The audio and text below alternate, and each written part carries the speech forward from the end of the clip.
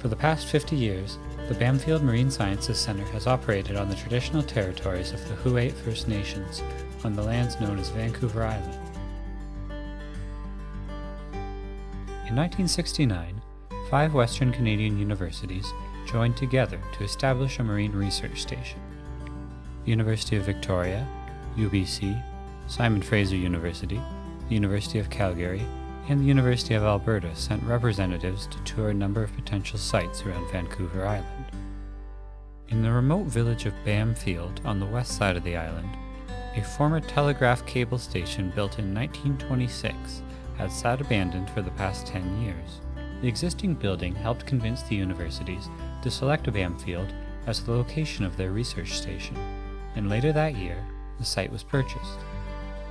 Between 1970 and 71, research was based out of a former minister's residence rented from the church, with a lab set up in the basement.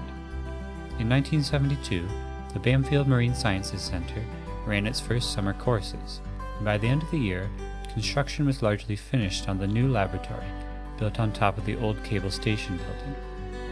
By 1973, everything was up and running. Over the past 50 years, the Bamfield Marine Sciences Center has grown tremendously. Every year it attracts researchers and students from across Canada and across the world.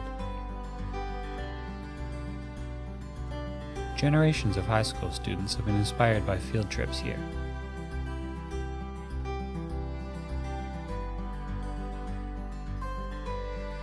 Each year, we strengthen our relationship with Huu-ay First Nations, collaborating with them on projects like the new wastewater treatment plant.